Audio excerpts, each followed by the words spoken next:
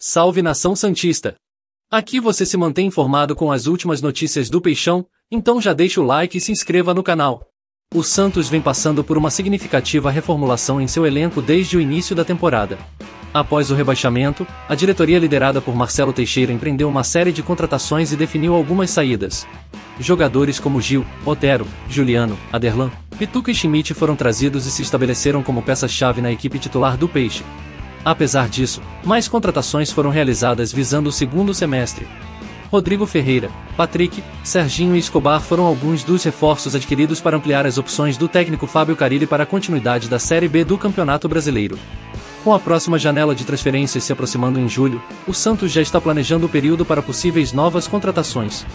Segundo o GE, a diretoria do Peixe considera o elenco completo para o técnico Fábio Carilli. Assim, Marcelo Teixeira e Alexandre Galo não estão mais ativamente buscando reforços. A intenção é permitir que Carilli continue seu trabalho com o atual elenco santista. Quaisquer novas aquisições serão discutidas mais próximo à abertura da janela.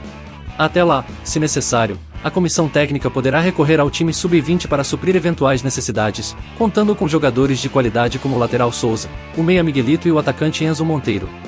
Quando a janela se reabrir e caso o Santos não enfrente restrições, a abordagem provável será a busca por reforços específicos, destinados a preencher lacunas identificadas no elenco. E aí, torcedor do Santos? O elenco do Santos é bom?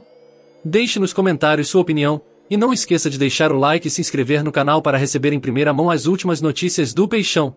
Até a próxima!